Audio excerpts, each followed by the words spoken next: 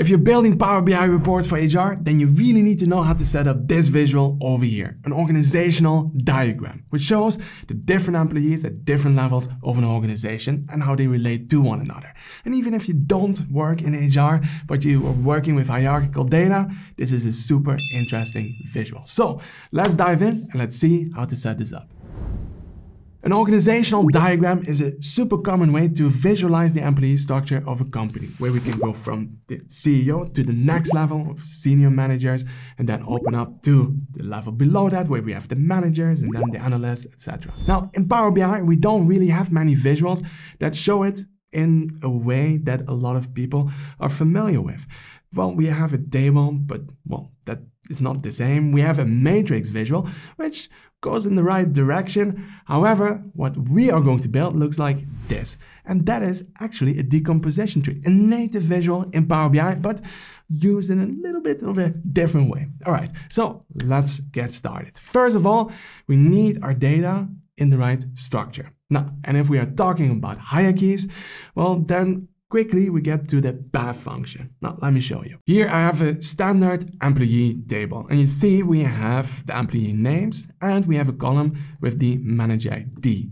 So that is the ID number of the manager that they have to report to. So here we have Mike Thompson, which reports to John Smith, and John Smith reports to nobody because he's the CEO. All right. So if we go a little bit further down, for example, over here, Emily Carter, he or she reports to manager ID 2, which is Mike Thompson. All right. So we know who is reporting to who.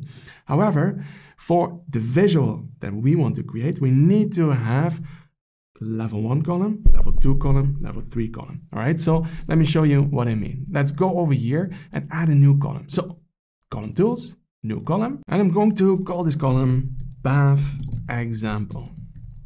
All right, so I'm going to use a function that's called PATH. All right, so it returns a string which contains a delimited list of IDs, starting with the top root of a hierarchy and ending with the specified ID. Sounds complex, but it will make sense in a second. All right, so over here, we need an ID column and a parent column. Now the ID column, that's the employee ID over here. And then we have the parent column, right? That is then the manager ID. All right, that's it. So let's press enter and have a look if that works. And you see that this function returns the path. At the top, we have the CEO, number one. And then if we go to the next line, there we have Mike Thompson, who reports to the CEO. And then we have two more that report to the CEO, uh, Tom and Emily. And then we go a level down. We have one, two, five. So that is Emily Carter, who reports to number two. You see, over here reports to number two, Mike Thompson, who then again reports to number one. All right, so this is the path, the path of managers. All right, this is nice. However, this is not really what I want. I want to have the name of the level 2 managers or level 3 managers. So to do that, we need to work with the PATH item function. So let's go back. And now I'm going to use a PATH item function. And here we can return the nth item in the delimited list produced by the path function. Now, the path function we just used, right? So that we already have, that gives us the path. And now we want to have which position? Well, over here, if I would go for one, we would always get the, well, the employee ID for the CEO, which is number one. So I'm to go for the level two managers, the senior managers below the CEO. So two, and then how does it need to get returned? Let's go for an integer. Okay, now let's press enter and let's see what it gives us. So now we have over here three different values, two, three, four, because we have three managers below the CEO in this data set. Okay, however, I don't want to have that number. I want to have the name. So one more function that we need, which is a lookup. Now we want to return the values from what column? From the name column. So let's see how that one is called here. We have here name and surname. Perfect. Then we need a search column. Now we want to search in the employee ID column. All right. And then the search value. Oh, that one gets returned by the path item function. So now it is complete. We can close the lookup value function and ta-da, we have over here the level two managers. So this would be level two managers. Okay, so that means if I go back and I want to have level 3 or level 1, the only thing that I would need to change is that number over here. And you see, John Smith is the CEO. Then before we had and level 2. Now I make it level 3. And you see in this way we can create the columns for all of the different levels. Now I've already done that in a separate table. So let me just go over there. And here we have the entire reporting line of managers for each employee. So meaning here at the top there we have the CEO, John Smith, and level 234 is then blank. And here on the second line, employee ID 9, that is Charlie Martin. So at level 4, at the level below him, that one is then empty, but the managers above him are then visible, filled out. Emily and John. Okay, so we have this for all of the employees. And this we're going to use on our visual. So let's go here to the reporting view and build a simple table. So let's go for a simple table and let me make it a little bit bigger and put it here in the middle.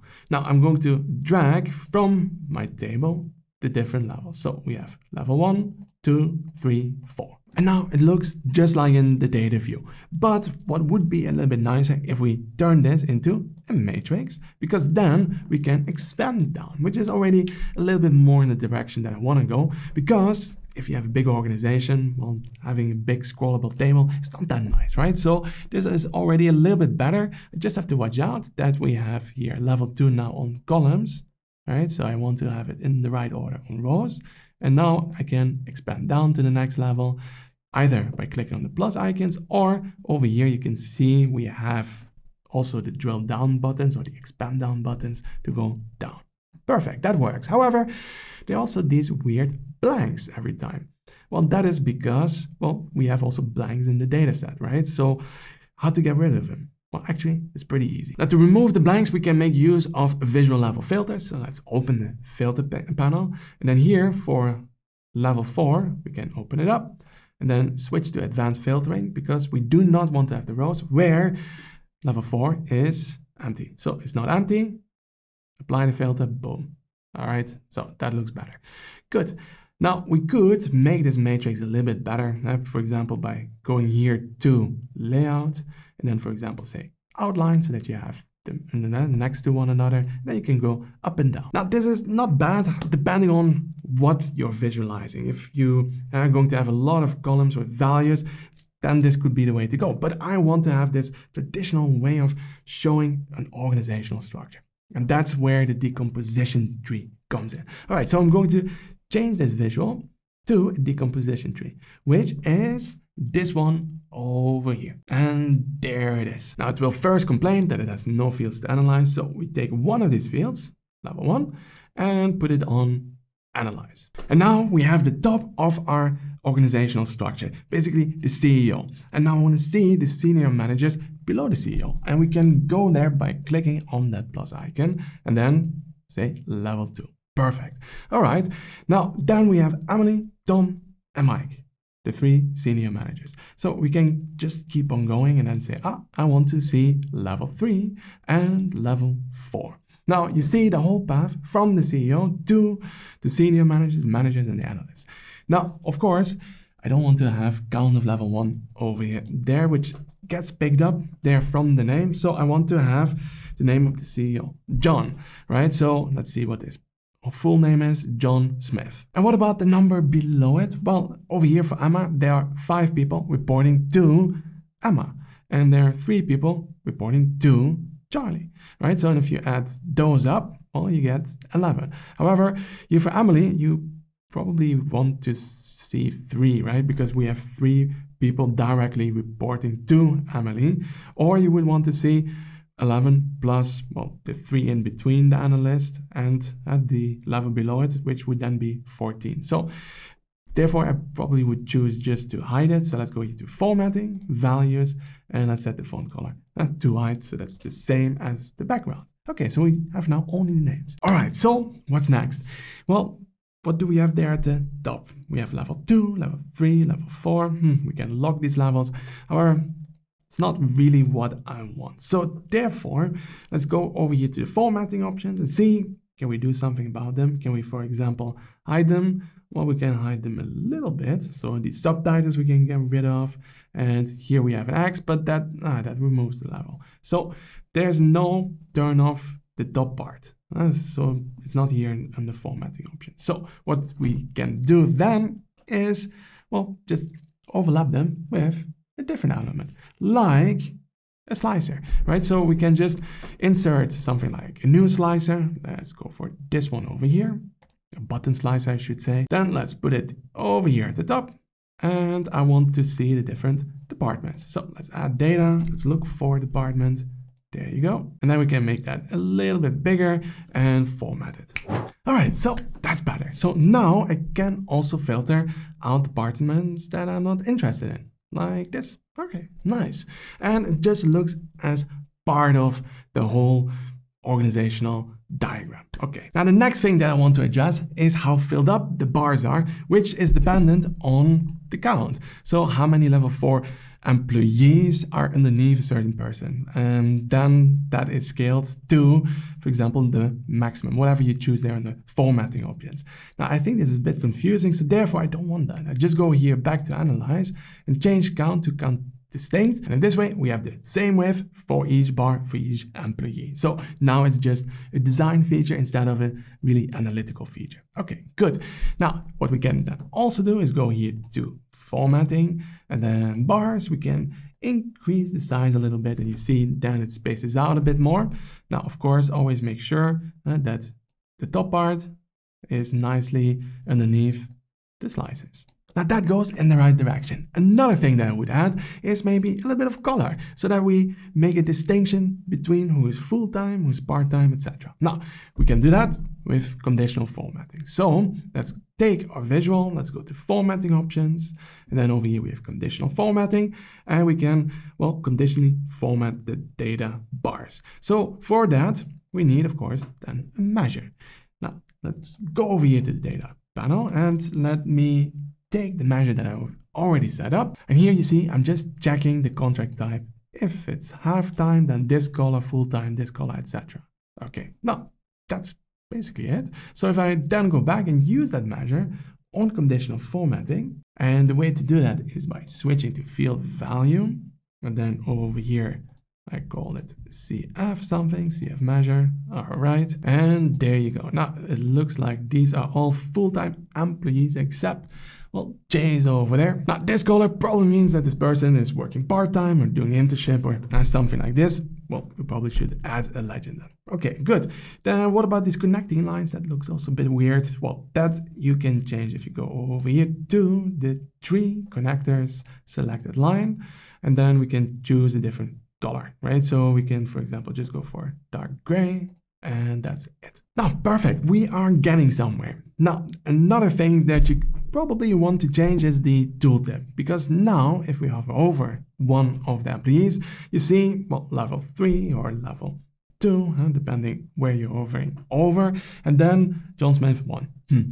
So we can work with custom tooltips. Now, let me give you an example. Here we have the custom tooltip that I've set up for our organizational diagram with a picture, the name, the key competencies, and email and phone number of the employee that we will be hovering over and then this will show. So let's go back to our visual, take it, formatting, and then properties, tooltips, report page, and then pick the tooltip that, well, you set up. Okay, now let's see if that works. If I, for example, go to Christian Borger, you see we have a nice picture, the key competencies, email, phone number showing up. And for Emma, also works. Perfect. All right, and that's it. Our organizational diagram is done. So now I can collapse it, open it up, you see, perfect. Nice. Works exactly like it should. The only thing that's a little bit annoying if I hover here over the CEO, the tooltip doesn't show nicely. So it's not that custom tooltip from before. You see that I have a different level. So the only way to get over that is to overlay it with empty text box or something. Well, not the prettiest, but that's how life is sometimes in Power BI if you're looking for workarounds. Okay, now let me know. Do you like this trick? Is this something that you're going to use? Put it in the comment section below. If you want to see more tips and tricks around how to build impossible visualizations, then check out these videos over here. If you really properly want to learn how to build solid Power BI reports from beginning to end, then check out my training program over there. Thank you for watching and see you in the next video.